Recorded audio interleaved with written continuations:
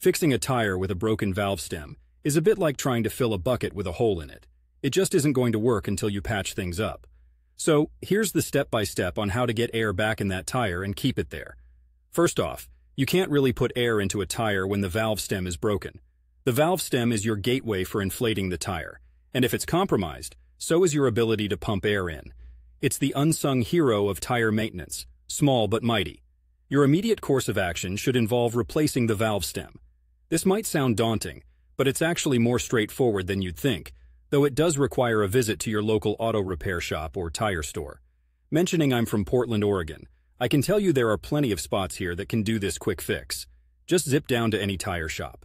They'll have the tools to remove the tire from the wheel and install a new stem. Here's a simplified breakdown. 1. Removal. The tire needs to be taken off the wheel.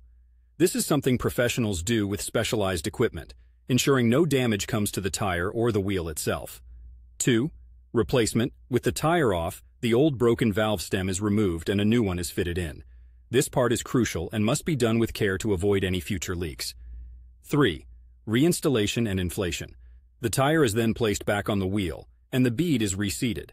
This might require a machine that ensures the tire fits snugly back onto the wheel.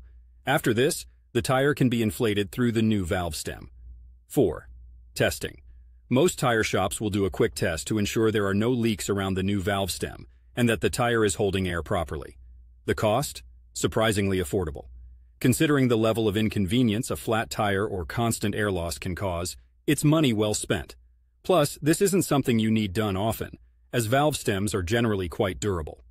In the meantime, if you're facing an emergency and just need to get somewhere safe, there are temporary fixes like using a sealant, but I strongly recommend against this for a broken valve stem.